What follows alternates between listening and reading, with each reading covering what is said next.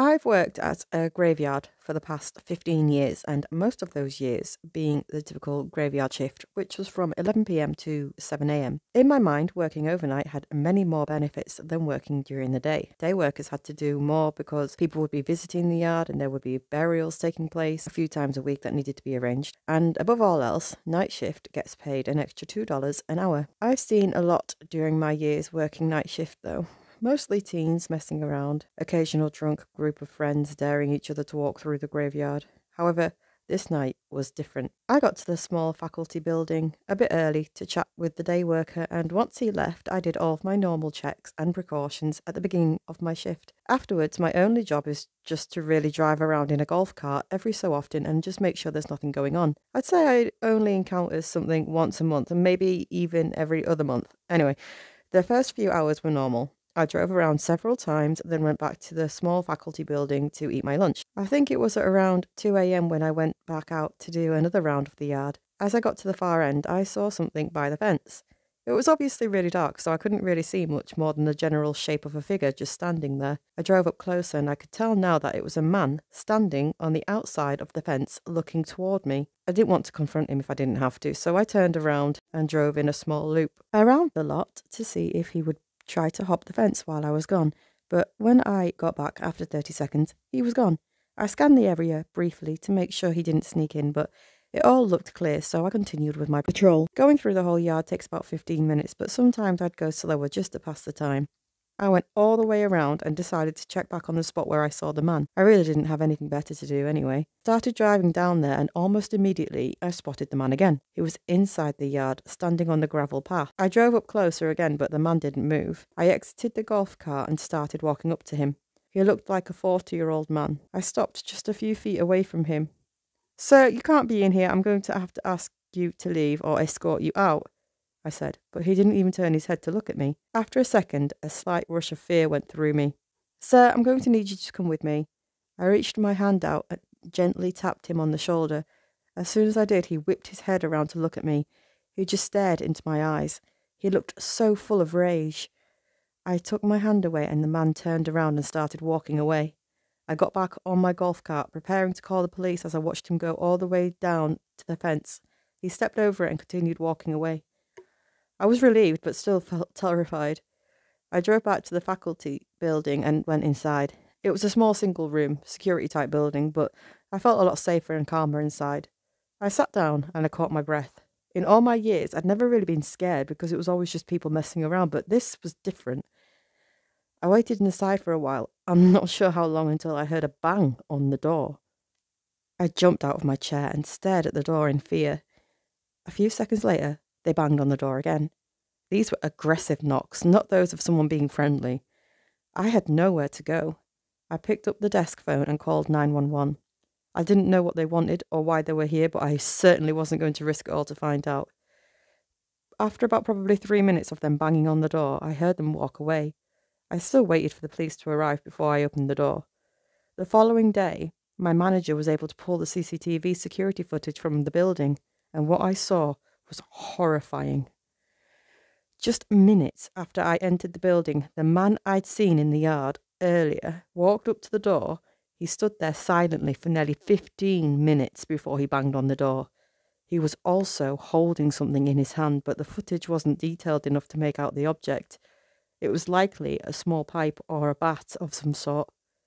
The man was never identified, but I still worked the same job at the graveyard, and I haven't seen him since.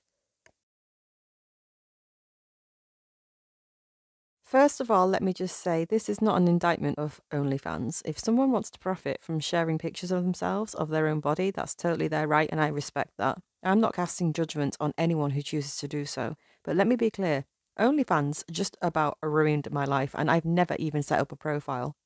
It all kicked off not long after I broke up with this guy I'd been dating for about three to four months. As a single mum, it's hard to get dates than I'd like it to be. But at the same time, I totally understand why somebody wouldn't want to raise a child that isn't theirs. I mean, I wish more guys would be open to it. It's not like I'd never have a kid with them too, but it's just a sad fact that it puts guys off when you've got a child from a previous relationship.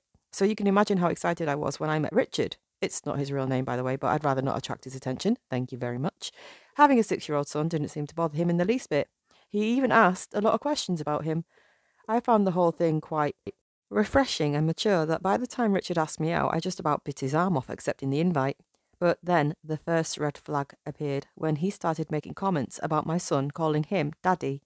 That wasn't the red flag in and of itself, but it was more his reaction when I told him, no, my son has a dad and I don't want him confused as he grows up. Richard didn't seem to respect that position whatsoever and actually said some quite personal things regarding my taste in men, as well as the integrity of my son's father. It's a complicated situation that I'll concede, but Richard's whole take on the thing was frankly disgusting and misogynistic, but given that it was a very unusual setup, I didn't really want to give up on him so quickly. Not since guys like him seemed to be so hard to come by, but then after two months of clashing, not often I should add, I had to face the music and accept that if there was a guy out there for me, it certainly wasn't him. I've dated guys for months who took the be- breakup better than Richard did. They're always rough, but I think if I actually told you what Richard did, you'd think I was making this all up. Needless to say, his reaction totally justified my decisions to end things. And that's exactly how I phrased it too. But that breakup was far from the end of my ordeal with Richard, and you know what? It's kind of my fault too. In fact, it's mostly kind of my fault because if I hadn't been so trusting, I wouldn't even be writing this right now. The one big mistake I made was trusting Richard to keep private certain pictures I'd sent to him. I think I trusted him because, well, he'd sent me pictures too. And I think there's a lot of less nude leaks than there are nudes the mutually assured destruction you'll release mine, well, I'll release yours. But after we broke up, I deleted all of his intimate pictures, and I was foolish enough to think that he'd also done the same, because the next thing I know, I get a message from a friend of mine saying something like, Oh, you have an OnlyFans, you go, girl. I had to ask her what OnlyFans was. I literally had no idea at the time, and she replies, You like you're joking, right? Is this supposed to be a secret? Immediately, I started Googling OnlyFans, and as you can imagine, I'm pretty shocked at what I see. The whole website is basically homemade lewd images, and for those who aren't familiar, and from what I could gather, the girls in question make quite a lot of money too. I mean, I wouldn't say no to an extra two grand a month, but I hadn't even set the profile up. I asked my friend to send me anything she found with my name on it, and then, what do you know? There's a freaking OnlyFans profile set up in my name, and the whole preview picture in the banner was a raunchy picture that I'd sent to Richard. The profile said free to subscribe, so I made a dummy account to sign up, only to discover that Richard must have uploaded at least 10 different pictures I'd sent to him, all with these disgusting captions that I'd rather not repeat here. I was angry. I was so angry. But I didn't get scared until I saw that he'd put up my home address, my actual home address apartment number, postcode, everything. It kicked in how much danger I was in, and I burst into tears, thinking that my selfish little actions had ex- exposed my only son to danger. I know it was all Richard, and I know if he was just normal, then yeah, it wouldn't have happened. But I'm a mother. I should know better. I'm not some attention seeking teenager anymore. I just wanted to feel wanted, you know? Surely people can understand that in the end, I managed to get the profile taken down, and I think OnlyFans and other sites like that now make you verify your identity, so stuff like that can't happen again. But what if you manage to get hold of the girl's ID or something? The system they have doesn't completely protect anyone.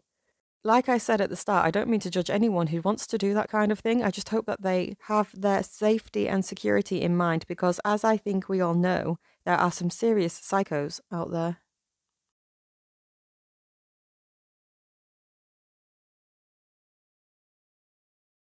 All right, so I've got a story that made me learn a lot about using Craigslist. This is just after the new iPhone had come out and I desperately wanted one, so I found an ad on Craigslist from a guy selling his for about $50 cheaper than everyone else's ads. I give the guy a call and he tells me his company has switched to using Blackberries and he has no need for the iPhone now. So I agreed to meet up with him since he seemed to have a fairly straightforward story, or at least it sounded that way. This happened in LA, and I'm not familiar with the LA area. I drive up and get off on Crenshaw Boulevard on the northeast side. I drive up about a block from the 405 and take a left and park in front of this big low income apartment complex. This is in the middle of the day, right next to a busy street. Now, the neighborhood wasn't bad, but I'm a big girl, so I figured I'd be all right. I finally get a hold of the supposed business dude, which turns out to be a little dude that's dressed in baggy jeans and a big white t shirt. along with another dude dressed the same. Now, while I was sitting in my truck waiting for the guy to show up, I see a, a, guy sitting over in a blue Ford Focus just staring at me and grinning the entire time, which creeped me out and already made me feel uneasy about the situation.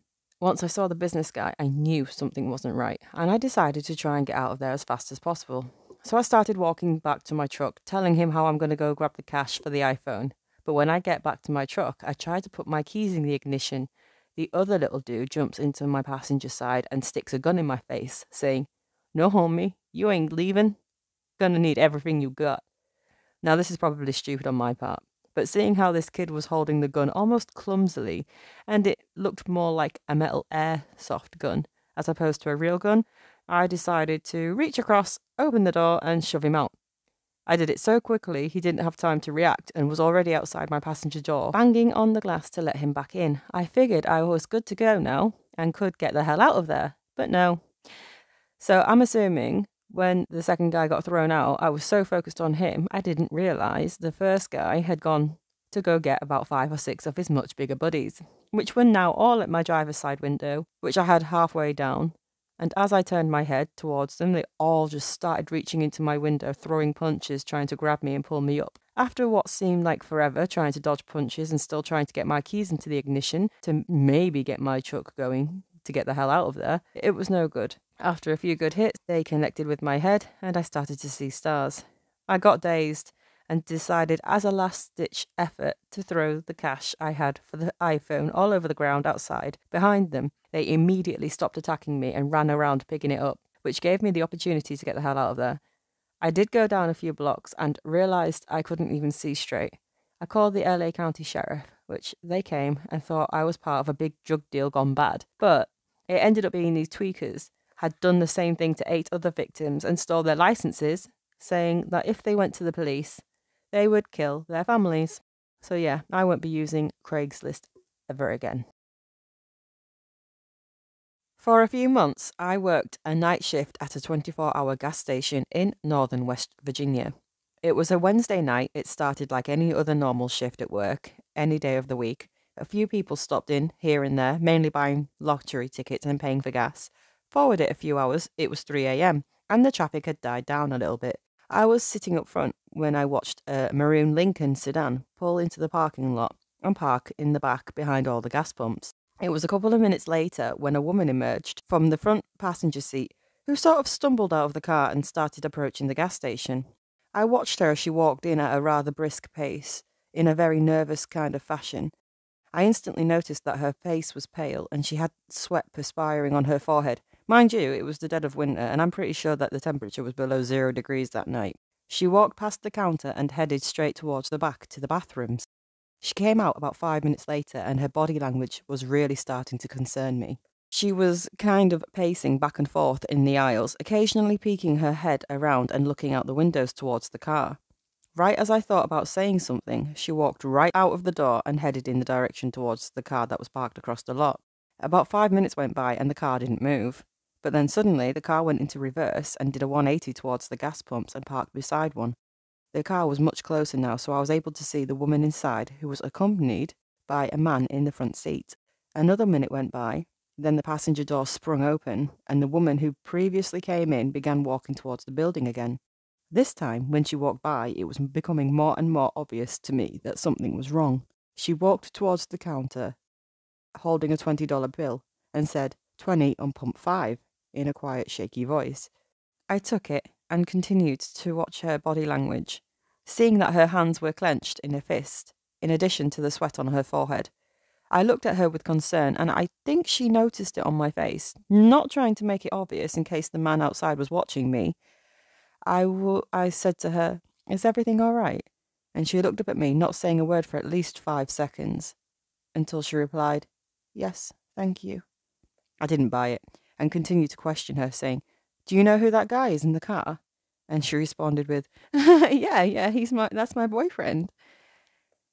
I didn't believe any of this to be true, and I watched as she approached the car, right as she opened the passenger's door. The man handed her something, and she grabbed it and promptly turned backwards towards the building. She walked in and instantly went to the chip aisle, where she paced around again and eventually bought a bag of chips to the counter.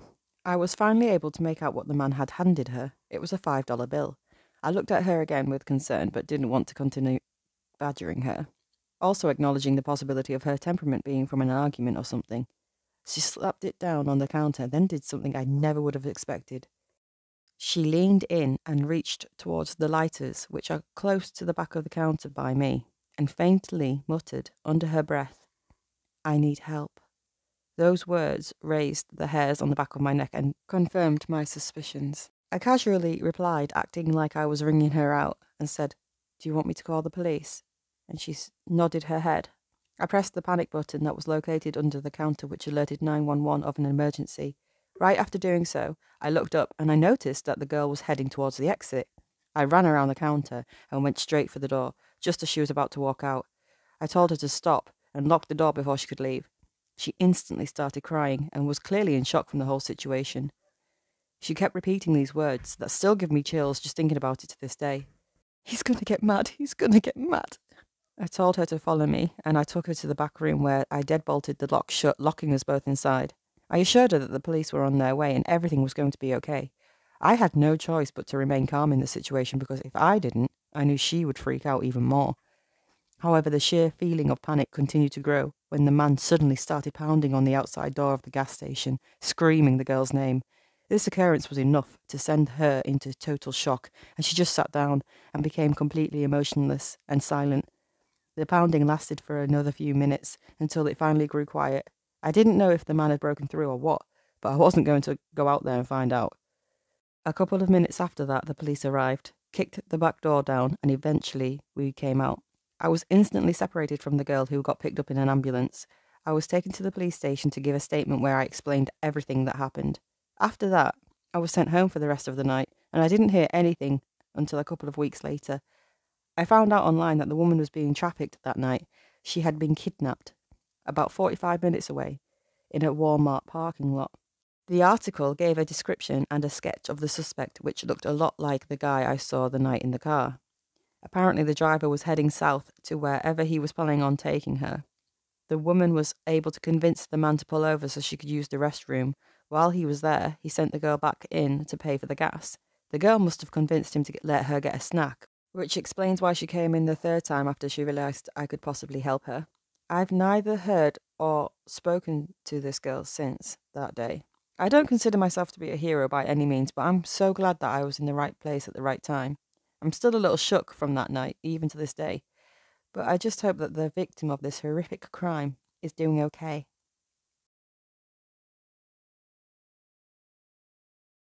I used to work as a pizza delivery driver. I would only work on Wednesdays, Fridays, and Saturdays. I always preferred the weekend shifts, especially at night time, because that's when I would make the most money. At this point, I've been working there for the past year and had come to know many of the regular customers that I delivered to. On one particular Friday, I had just gotten back from a delivery when my boss handed me another box of pizza to deliver. I instantly recognized the address seeing that it was a lady who almost religiously ordered pizza every Friday. According to my manager, she'd been doing it for years. On that job, I've learnt that a lot of customers like to chit chat, and this lady was one of them. But I didn't mind though, because she was always very kind and would often tip me very generously. She lived on her own and would always tell me she enjoyed having the house to herself since it was quiet. Her house was 10 minutes away from the shop, so I got in my car and I drove straight there. It was around 11 o'clock at night, which is usually the same time she'd always order. As soon as I got there, I pulled into the driveway, parking behind a red Kia Optima. The first thing I noticed was that her porch light wasn't on, which was unusual because she always had it on in the past. I assumed she must have just forgotten to turn it on. As I was approaching the house on the walkway to the door, I instantly froze in my steps. When I looked up, I realized that the front door was wide open. There were no visible lights coming from anywhere inside the house. It was completely dark. Hesitantly, I took a few more steps forward and stepped up onto the front porch, where I leaned my head in towards the entrance and yelled, Hello, is anyone home? I waited a few seconds but got no response. After seeing that the front porch light was off, I didn't really find anything else too strange, but after noticing the fully open front door and complete darkness inside the house, I was really starting to get scared. I found it quite hard to believe that all those strange signs were just a coincidence. As a last hope, Before I escalated the situation by telling my boss, I stepped inside the house and began calling for her. In retrospect, this probably wasn't a good idea, but I walked around the first floor of the house looking for any signs of her. My only explanation at this point was that she had a medical emergency of some sort and needed help. I made my way into the kitchen, where I found another red flag. Her phone was sitting on the countertop right next to the sink, and her car keys were on the coat rack by the front door. Other than that, there were no signs of her. I thought about checking the upstairs level, but I started to get freaked out. I ran back to my car where I called my boss, and while waiting for him to answer, I started getting really worried as I soaked in everything I'd just witnessed. I got a nauseated feeling in my stomach that something was seriously wrong. My boss finally picked up and I stumbled over my words, trying to tell him that I think something bad has happened to her. He told me just to come back to the shop and talk to him more about it because he was really busy with customers. I sped back as fast as I could, where I practically ran in to attempt to tell him everything in a less panicked tone. After talking with him, he agreed that we should contact the police and have them send over someone for a welfare check. Well, weeks went by, and we heard absolutely nothing from the police. The suspense and ominous tension was killing me, not knowing what happened. Several more weeks went by, which turned into years. I eventually quit that job and worked my way up into the career job I have today. Last month, by coincidence, I ran into my old boss from the pizza shop, who struck up a conversation for a little before I finally brought up the elephant in the room. I said, Hey, whatever happened to that girl? His expression quickly changed into a blank look, and he sighed. I don't know. She hasn't ordered a pizza since that night. Later that day, I decided to drive over to the house I delivered to that night. There was a truck and a car parked in the driveway, and a lady sitting outside while her kids were playing in the yard. I parked on the street and walked up to the driveway, waving at her. I said, Hey, I know this is kind of a weird question to ask, but do you know anything about the previous owner of this house? She looked puzzled as she replied, No, no, not at all. Our realtor just said that the house had been abandoned for a year before we moved in. I politely thanked her and walked back to my car with that same feeling I had in my gut years ago, the last time I was at that house. I still can't believe that after all these years, I still have no idea what happened to her. She just dropped off the face of the planet. I'm hoping that there's some logical explanation for this that I'll eventually find one day, but I just hope that she's doing okay. Out of curiosity, guys, what do you think happened here? Let me know in the comments.